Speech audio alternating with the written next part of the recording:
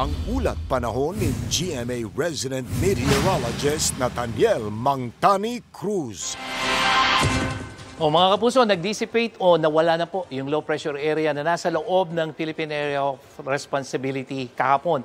Pero lalo namang lumakas yung bagyong nasa labas naman ng ating PAR at isa na nga ito ngayong tropical storm na may international name na Mulan. Wala itong direktang epekto sa bansa at tinutumbok nito papunta po yan ng southern China. Ha? Pero patuloy nitong hatakin yung hanging habagat o southwest monsoon. Yung nakikita yung mga kulay pula na gumagalaw na yan. At habang lumalayo yung bagyo at humihina, papalayo na PAR yan, eh hihina rin yung paghatak niya sa hanging habagat. Kaya hihina po yung hanging habagat sa mga susunod na araw. Western section ng Luzon na lang ang apektado ng hanging habagat habang localized thunderstorms naman ang magpapaulan sa iba pang bahagi ng bansa. Apektado ng hangin bagat ang lagay ng mga karagatan kaya magiging maalon at delikado sa mga maliliit na sasakyang pandagat ang maglayag dyan sa may Ilocos Provinces, La Union, Pangasinan, maging dyan sa may western coast ng Ilocos Norte, itong Zambales, Bataan, Lubang Island dyan sa may Mindoro at yung western coast ng Palawan kasama ang Kalayaan Group of Islands. Sa rainfall forecast ng Metro Weather, ito dahil mahina na yung habagat, wala nang masyadong ulan dito sa Central Luzon at dyan sa may Calabarzon. So buong Luzon, halos walang ulan sa umaga. Pero pagdating sa hapon, yan ang mga kapuso.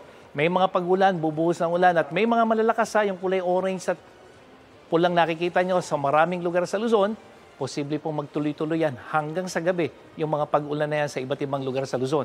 Sa hapon at gabi rin inaasahan ng maulang panahon dito sa Visayas mula mga kapuso sa hapon, nandyan yung mga malalakas na ulan, dyan sa may Samar, Leyte provinces, maging dyan sa may Panay Island. Heavy to intense rains yan sa maraming lugar, kaya maging I am ready po ha, sa posibleng pagbaha o yung pagguho ng lupa.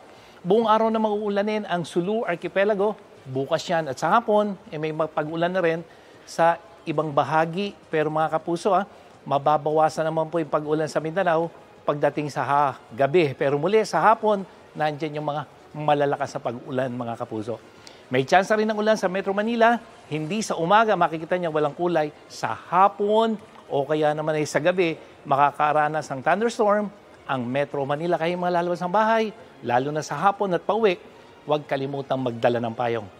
At yan ang latest mula sa GMA Weather. Ako po si Nathaniel Cruz. Magplano para sigurado. I am ready serbisyong totoo ng GMA News. Good news mga kapuso! Maaari niyong mapanood ang 24 oras at iba pa naming mga newscast sa aming YouTube channel. I-click lang ang subscribe button na lalabas sa screen. Sa mga kapuso abroad, maaari niyo kaming masubaybayan sa GMA Pinoy TV at sa www.gmanews.tv.